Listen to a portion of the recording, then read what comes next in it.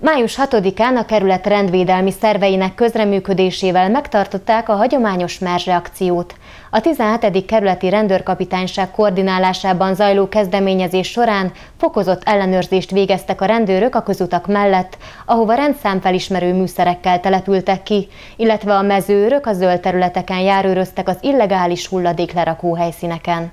Az akcióban továbbá részt vett a 17. kerületi Delta polgárőrség és a Rákosmenti Polgárőr Egyesület, a Természetvédelmi Őrség, a Kerületi Vadászegyesület és a Kerületi Közterület Felügyelet. Reggel a rendőrség épületében egy eligazítással vette kezdetét a Merzse akció, ahol megjelentek az együttműködésben résztvevő szervek, a 17. kerületi rendőrkapitányság, a Rákosmenti mezei őrszolgálat, a Természetvédelmi Őrség, a Kerületi Vadászegyesület, a 17. kerületi Delta polgárőrség, a 17. kerületi közterületfelügyelet és a Rákosmenti Polgárőregyesület. Utóbbiak csak úgy, mint a másik polgárőrség, már hagyományos résztvevői a kezdeményezésnek.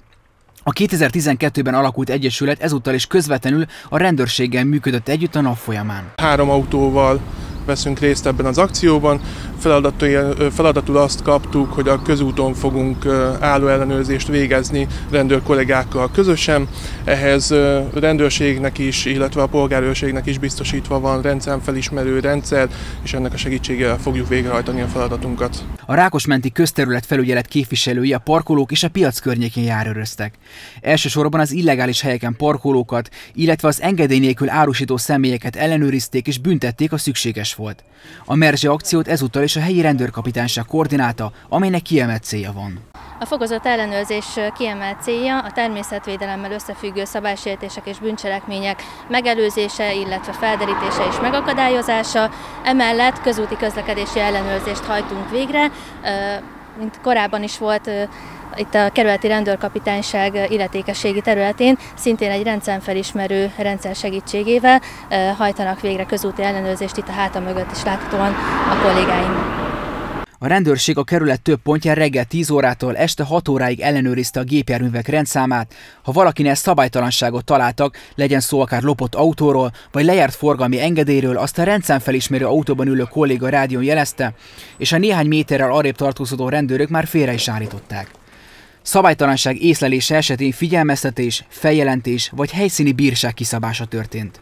Ezen ellenőrzéseknek fontos figyelemfelhívó szerepük is van a biztonságos és szabályos közlekedés szempontjából. Az ellenőrzés üzenete a lakosság számára az, hogy, a, hogy biztonságosan és a jogszabályokat betartva közlekedjünk, illetve ugye a Merzsa akció révén a természetvédelemmel összefüggő szabálysértéseket, bűncselekményeket, illetve ezek észlelése esetén mindenképpen jelezzük az illetékes hatóságok felé.